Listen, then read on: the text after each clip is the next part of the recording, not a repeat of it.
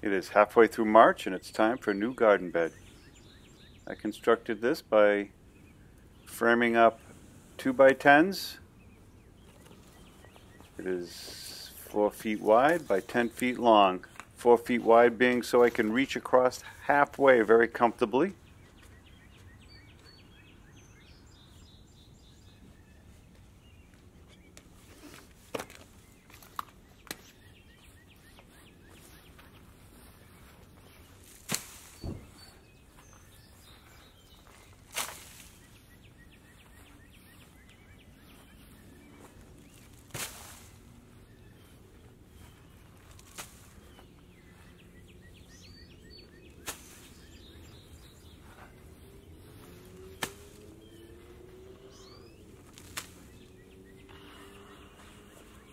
I've dug up the sod, put it to the side, and I dug down about six inches.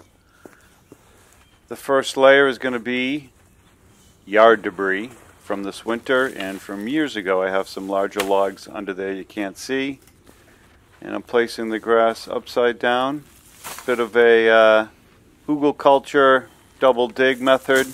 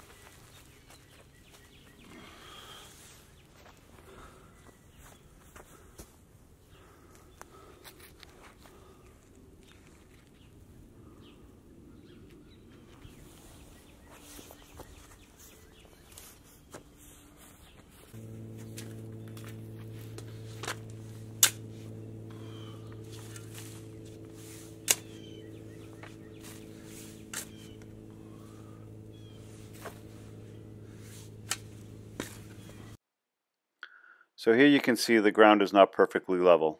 I do have some, it's about a 5 inch gap right there. I've used bricks on the inside to level off the frame. And I also have some other bricks that have been laying around the yard for years that I'm going to use to plug in these holes so the soil doesn't spill out.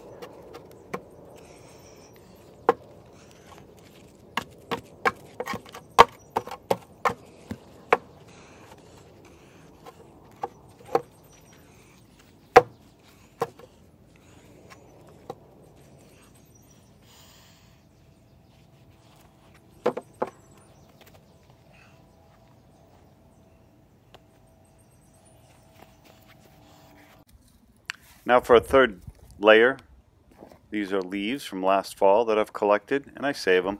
I put them in a compost pile and I hold on to them and I use them to compost my grass clippings. Here I'm just going to spread them on the grass that's turned upside down as the third layer.